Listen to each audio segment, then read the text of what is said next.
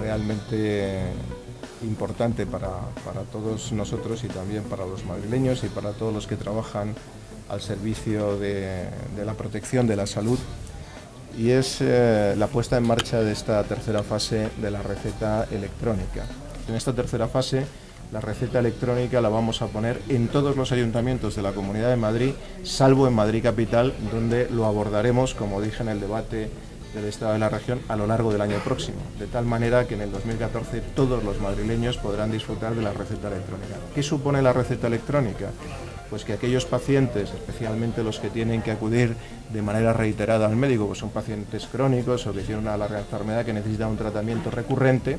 simplemente con la primera vez que acudan a su médico ¿eh? en el centro de primaria y les expida eh, la receta y el tratamiento que tienen que, seguir,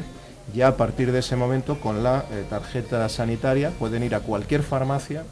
y pedir que se les expida el medicamento o los medicamentos que tengan que tomar de manera periódica. Por lo tanto, no tienen que volver al centro de salud, no tienen que hacer colas, no tienen que ocupar más tiempo del médico que les atiende para expedirles de nuevo la receta y eso supone menor tiempo, menos costes, más comodidad para los eh, ciudadanos, más comodidad también para los propios farmacéuticas y sobre todo más tiempo de los médicos para poderse dedicar a atender a los pacientes. Por lo tanto, creo que es un motivo de satisfacción y creo que es esta la línea por la que tenemos que seguir avanzando para hacer sostenible el sistema de salud.